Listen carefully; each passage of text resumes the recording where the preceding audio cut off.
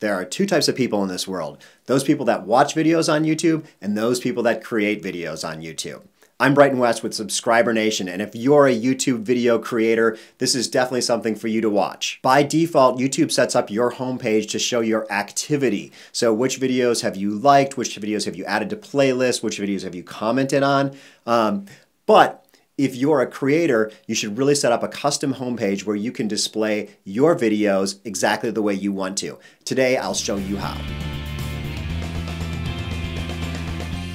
So when you're in YouTube, the first thing to do is uh, you want to make sure that you can see um, you, what your channel looks like. So if you click on the YouTube icon in the upper left and then My Channel, uh, this shows you what your channel looks like. And by default, this is what it looks like. So it's showing by default all activities.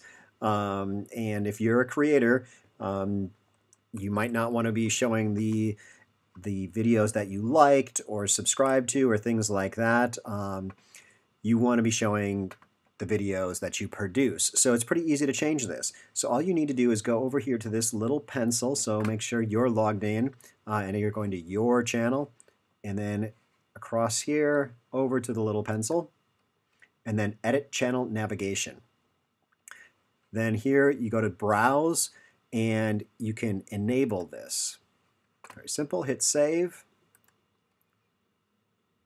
And now you've got a custom channel, custom homepage, and you can kind of build this out. The first thing you can do is add a channel trailer. Uh, so this is kind of a, a quick video about why people should subscribe to your channel. And also you can add sections down here. You can say, you know what, I want my popular uploads.